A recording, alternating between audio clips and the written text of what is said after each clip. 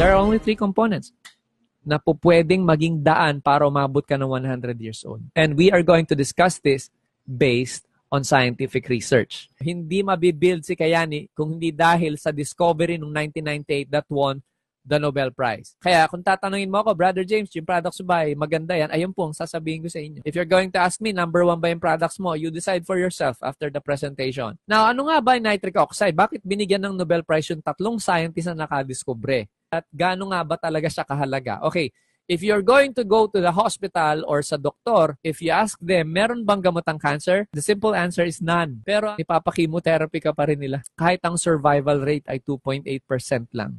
Tanungin mo kung diabetes, doc yung diabetes, may gamot pa. Wala uli. Mas gusto nila mag-insulin, painumin ka ng gamot na eventually magkakos din ng organ failure kidneys ang tatamaan, lupus, vertigo, migraine, kung ano naiisip nyo, actually walang gamot yan. Ang ginagawa lang po ng gamot, mga kapatid, is to treat the symptoms, not cure the actual problem. Inaampat at ginagamot. Magkaibang salita po yung dalawa na yon. Ang ginagawa lang ng mga gamot na nabibili nyo sa butika, inaampat lang yung sakit mo. Yung mga madalas po sumakit ang ulo, by the way ha, mawarningan po kayo iinuman mo lang ng painkiller, yung headache mo, naku po, hindi natin alam kung iyan eh, nakaabang na aneurysm yan. Huwag nating binibigyan ng painkiller, may sinasabi yung katawan mo that you have to listen to. Actually, ito nakakatuwa, ano? May isang molecule in the entire creation of God that has the power to heal you of cancer tsaka yung diabetes mo or any disease for that matter. Isang molecule lang po ang responsible na makakagawa nun. That's nitric oxide. Mga kapatid, wala sa butika wala siya sa ospital, wala sa kamay ng doktor. Alam niyo kung nasaan yon? Nasa loob ng katawan mo. Napoproduce po yan sa loob ng katawan mo. Nung bata ka pa, mga kapatid, pinuno ka na niya ng nitric oxide. O ngayon, sample ko sa inyo para patotohanan ko na ang nagpapagaling sa inyo, actually, nasa loob lang din ng katawan nyo. Let's say, nahiwa ka ng kutsilyo. No? Kung gamutin, ha? Basta malinis lang, gumagaling mag-isa, hindi. Gumagaling siya mag-isa mga kapatid, yun yung nitric oxide in action. Okay? Yun din ang kayang gumamot ng cancer mo, ng diabetes. Tama po yung naririnig nyo ha? Tama po. Di ba sabi nila walang gamot? Kaya nga, tama, wala sa butika. Wala sa ano, wala sa ospital. Nasa loob ng katawan mo. Yun ang magpapagaling sa'yo. Kayang-kaya ng katawan mo magpagaling mag-isa. Kaya lang ito ang problema mga kapatid. Ang nitric oxide mo, pagpalo mo pala ng 30 years old, ay paubos na. So, ang kailangan mo na is supplementation. Mag-exercise ka, libre nitric oxide. Doon. Congratulations sa nagzuzumba sa mga exercise. Talaga nga yan, dumadami yung nitric oxide mo. Kaya lang, as we age, mabilis pa rin ma-deplete. So, supplementation is the way to go. Now, dito po yung report ng Philippine Heart Association. Ano? Dito sa report na to, makikita nyo na ang talagang solution mo is to increase nitric oxide production sa katawan mo kasi yun lang ang may capabilities para ilayo ka sa atake, sa stroke, sa aneurysm, sa cardiovascular disease. Pakinggan niyo po itong report na ito. Makatutulong ang nitric oxide upang magamot ang mga sakit sa puso, stroke at iba pang cardiovascular diseases. Ito ay ayon sa isang pag-aaral ng isang eksperto sa naturang molecule. Ito ang balita ni Cecil Budenya.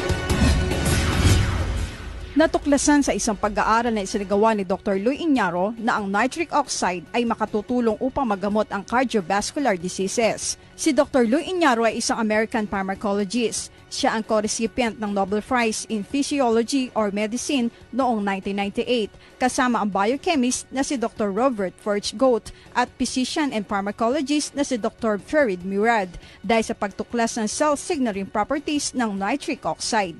Ang nitric oxide ay isang uri ng molecule na may chemical formula na NO. Ayon sa Vice President ng Philippine Heart Association na si Dr. Eugene Reyes, ang nitric oxide ay isang substance sa daluyan ng dugo na may signaling property na nagpapabuka ng ugat.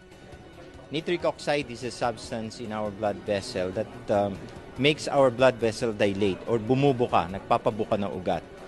Pagka healthy ang ugat mo, marami kang nitric oxide. At pagka marami kang nitric oxide, hindi nagbabara ang ugat. Sinabi ni Dr. Reyes, kapag maraming nitric oxide ng isang tao ay hindi magkakaroon ng hypertension, stroke, heart failure at iba pang sakit. Pero babala ni Dr. Reyes, maraming dahilan para mahinto ang pagre-release ng nitric oxide sa ugat ng katawan ng tao tulad ng pagkakaroon ng alta presyon, diabetes at sobrang paninigarilyo. Ngayon maraming sakit na nakaka, nakakapagpahinto ng pag-produce ng or pag-release ng nitric oxide sa ugat natin like alta presyon, diabetes, pagsisigarilyo, Layunin ng Philippine Heart Association Convention na maipaalam sa mga tao na may mga gamot na pwedeng magpataas o mag-release ng nitric oxide sa katawan upang maiwasan ng heart attack at stroke. Mga gamot na to nakapagpaparelease ng nitric oxide. Yun yung yun yung alam natin. So, ang ano na ang nangyayari lang is gumawa ng clinical trial na binigyan yung mga tao ng mga gamot na nagpapataas ng nitric oxide at na, nabawasan yung heart attack nila, nabawasan yung stroke, at humaba ang buhay nila. Pagandahin mo yung circulatory system mo, patibayin mo ang iyong cardiovascular system.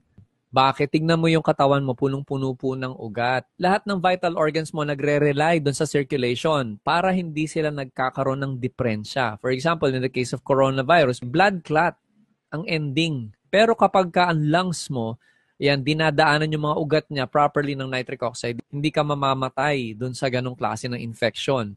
At saka kayang lumaban ng katawan pag maganda ang blood circulation mo.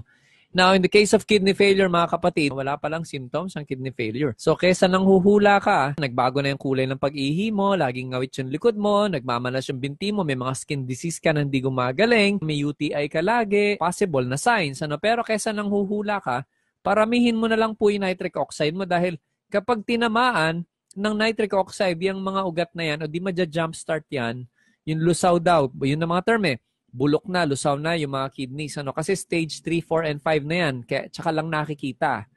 Okay, sa ganon, mag-invest ka na po sa nitric oxide. Now, anong role ng nutrition? Mga kapatid, kapag ka hindi nakabukas ang ugat mo, kahit mahilig kang kumain ng masustansya, halos tinatapon po ng katawan yun. Kailangan nyo pa rin punan yung ating katawan ng mga mga nutrients. Ano? For example, in this case, acai berry, grapeseed, makiber, pamilyar na po kayo dyan eh. Tama po, di ba? Spinach, eh, Brother James, dami na niyan. So, what separates you from the others? O, ganito lang po kasimple yan. Tayo lang po ang may matitinding certifications na nagagaranti that our products are in fact walang ginamit na chemicals, walang ginamit na preservatives that would harm you. Now again, bakit importante yung nutrition? Dito sa Metro Manila po mga kapatid, na yung aming uh, water supply dito is being treated with chlorine. Now para saan ba ang chlorine? Ang chlorine po kasi pampalinis nga ng tubig, kaya lang lason po yon. Anything na pinapahid nyo by the way, pumapasok sa bloodstream. Ngayon, ang problema dyan, ang babanatan po ng chlorine in your body pag ma, no, mataas ang concentrations ng chlorine sa katawan nyo, central nervous system failure. So, tinesting po ito for chlorine presence. Kitang-kita nyo, nanilaw because of chlorine. Chlorine tester po yung nilagay na yon. Pero nung pinataka ng super berries, bilangin po natin kung ilan lang yung pinataka. 1, 2, 3, 4, and 5 na-neutralize niya yung chlorine. Ano ibig sabihin nito? Ang super berries pala ay natural na pan-detox pala yan. Kahit ano pang mga mga lason na na-absorb mo, mga free radicals, madumi yung bituka mo because of so many things, yan po ang magdi-detoxify sa'yo super berries para kang kumain ng walong mansanas.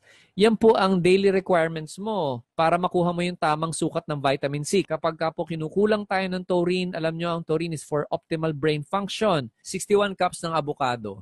Okay, 173 cups ng kalabasa, wala pong makakakain yan sa atin ng ganyan kadami. Pero yung mga vitamins and minerals na kailangan mo nandyan na po yan sobrang sinsin kasi ng mga super berries. Talagang punong-puno ng vitamins and minerals siya. Marami pang sikat na multivitamins ang magugulat kayo, kinasuhan dahil carcinogenic. Lalo na yung mga, mga nakatableta na yan, tsaka mga nakakapsul. Kaya sa atin, liquid po yung form. Bakit kailangan nyo maintindihan yung concept ng alkalinity versus acidity? Now, this uh, research was done by Dr. Marshall Vega. Trained po ito sa Johns Hopkins Hospital.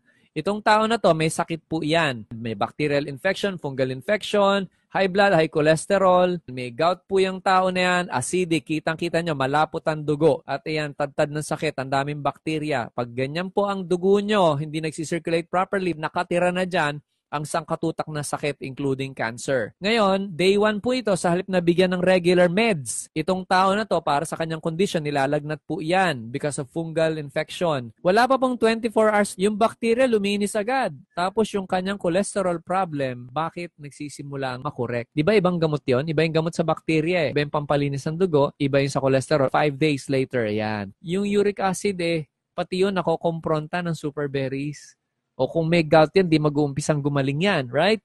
Now, ito nga yung tingnan nyo to, yung white blood cell, finally gumagalaw siya. Ang white blood cell po ang pumapatay ng mga invader sa katawan mo. In this case, ito pong fungus. At saka pagka napalakas po ng uh, immune system nyo, yan din po ang magkokos para labanan ng cancer cells. Hanggang hindi niya napapatay, hindi tumigil yan. Hindi nakakasurvive ang coronavirus sa isang katawan na maganda ang blood circulation at alkaline ng katawan with the use of super berries. Kung na-infect ka man, supplementation ng super berries, that's more than enough. Ang ginagawa lang po ng tatlong products natin is to strengthen your immune system, palakasin yung katawan mo. At the end of the day, kailangan lang malakas ang immune system mo. Kahit ano pang sakit mo, diabetes, cancer, or coronavirus. It doesn't matter. Lahat yan, kailangan mapalakas mo immune system mo. And the only thing that can do that, kailangan sobrang ganda ng nutrition mo na hindi natin nakukuha sa mga pagkain yun. That's where itong sunrise natin comes in.